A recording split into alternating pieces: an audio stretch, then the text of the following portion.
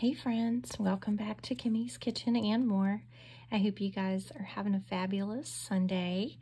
Um, I wanted to get on here to do the hashtag dogs coloring collab and this is an open collaboration that is hosted by Sweet Jamie and I will I will um, link Jana, Jamie's channel down below so you can go over and check him out and everyone else just follow the hashtag and everyone else in this open collaboration.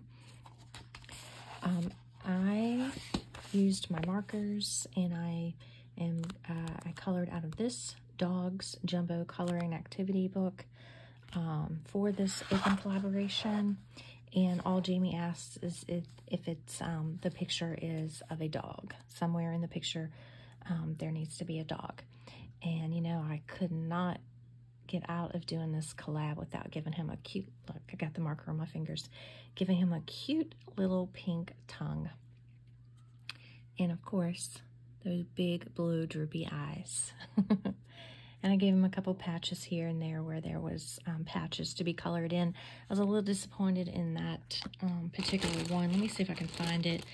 Um, it was more of a tan, but when it came out, it actually looked olive. Let me see if I can find it here. Um, let's see here. Of course, are the two that I used. And then I used a royal blue for the eyes. And then this is supposed to be kind of like a caramel color. However, it comes out more of a sage.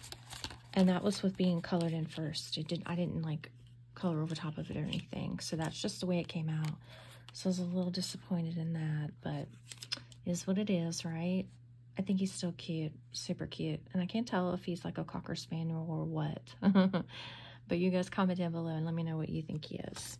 And uh, please go over and check out Jamie and everyone else in this open collab. And I hope you guys have a wonderful rest of your Sunday.